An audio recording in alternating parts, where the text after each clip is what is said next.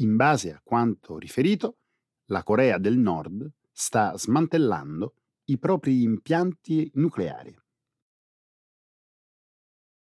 Recenti immagini satellitari mostrano che la Corea del Nord ha iniziato a smantellare il principale sito di collaudo dei missili nucleari. La notizia è apparsa lunedì scorso sul sito web 38 North, dedicato ad approfondimenti e analisi sulla Corea del Nord. Il mese scorso, durante lo storico incontro con Donald Trump, il leader nordcoreano Kim Jong-un ha promesso di denuclearizzare il paese.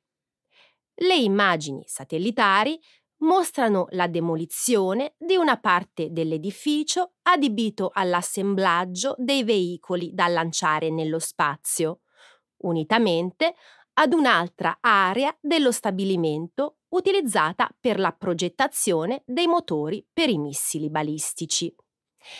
I lavori di abbattimento sono in corso presso la stazione di lancio satellitare di Sohae, vicino al confine con la Cina.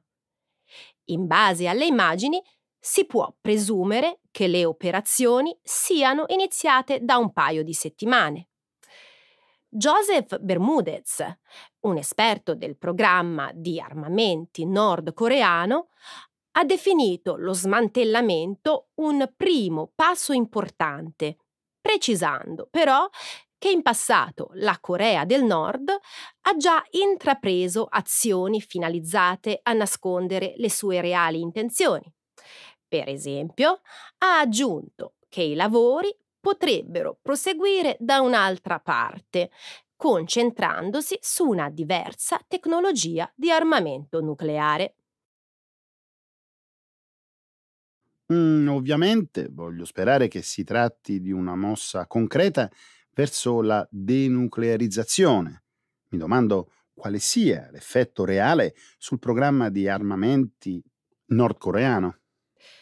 È troppo presto per capire cosa significhi veramente la demolizione di questo sito. Solo all'inizio del mese circolavano voci che la Corea del Nord eh, stesse potenziando gli impianti di arricchimento dell'uranio. Non è per nulla chiaro quali siano i piani di Kim Jong-un. Romina, sicuramente il presidente Trump sarà molto soddisfatto dei risultati ottenuti grazie al suo modo di agire con la Corea del Nord. Il suo modo d'agire Hmm, intendevi dire insultare e minacciare l'avversario, vero? Beh, sostanzialmente sì. Come si comporterà con gli altri paesi da lui considerati nemici degli Stati Uniti? Pensi all'Iran? Sì, la minaccia inviata da Trump via Twitter al presidente Rouhani domenica scorsa scritta tutta in maiuscolo, era praticamente una copia delle sue intimidazioni nei confronti della Corea del Nord. La situazione è molto più complicata, Stefano. L'Iran considera gli Stati Uniti inaffidabili dopo il loro ritiro dal presente accordo nucleare e mentre Kim Jong-un nelle trattative con gli Stati Uniti non ha avuto, almeno ufficialmente, alcuna resistenza interna, Rouhani si troverebbe di fronte un'opposizione ben più agguerrita.